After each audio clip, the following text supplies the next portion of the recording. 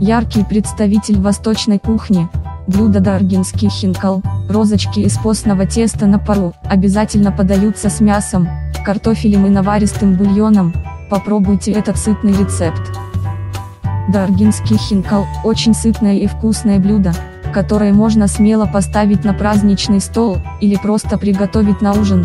Для хинкала очень важно приготовить правильно тесто, оно должно получиться тонкое и мягкое, для этого нужно соблюдать правильные пропорции муки и дрожжей, само по себе блюдо очень простое, но в сочетании с соусами и добавками, получается очень вкусное и интересное.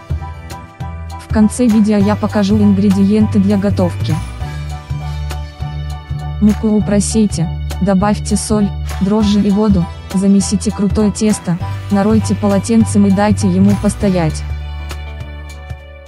Говядину залейте водой и поставьте вариться часа на два, когда закипит, снимите пенку и убавьте огонь на минимум, у нас должен получиться наваристый и прозрачный бульон.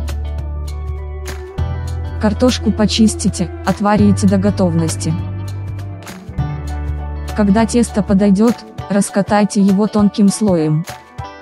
Подписавшимся, больше вкусностей. Смажьте растительным маслом и сверните в рулетик. Разрежьте рулет на кусочки толщиной примерно 5-6 см должны получиться розочки, сложите их в пароварку и отварите 30 минут. Когда мясо и картофель сварятся, выложите их на большое блюдо, добавьте к ним хинкал, посыпьте рубленой зеленью, маслом и подавайте к столу, приятного аппетита! Вкусняшки, подписавшимся! Как и обещали, расскажем ингредиенты.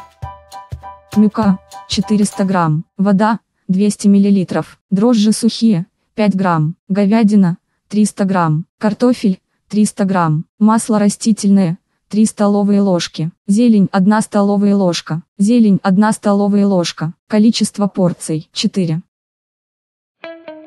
Подпишись и поставь лайк, чтобы не пропустить следующее видео которое поможет вам вкусно готовить. Попробуйте и приходите рассказать о впечатлениях. Пока-пока.